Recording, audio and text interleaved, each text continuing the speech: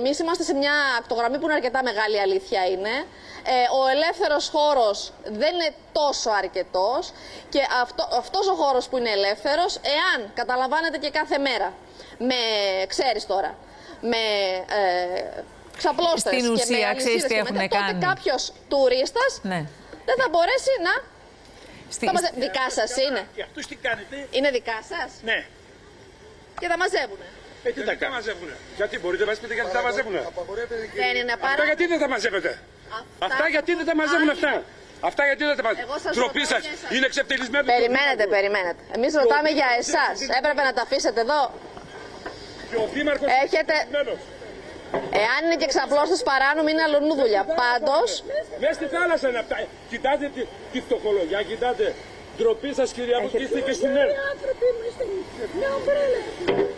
Είναι κατα... ναι, καταλαβα... καταλαμβάνετε όμως όλη την, ε, την παρα...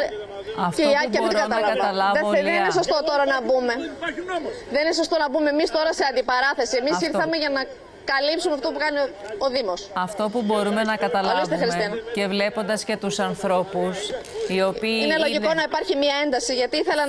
Φυσικά. Και θα σου πω Είναι και κάτι, λογικό. Λία. Θα σου- Είναι μόνιμοι κάτοικοι. Ναι, ναι, ναι. Ε, ε, Αυτό το λέω. Είστε μόνιμοι κάτοικοι με αγορασμένα σπίτια. Το καταλαβαίνουμε. Το γνωρίζουμε. Αλλά μέσα δεν του κάνει όμως ντροπή σας.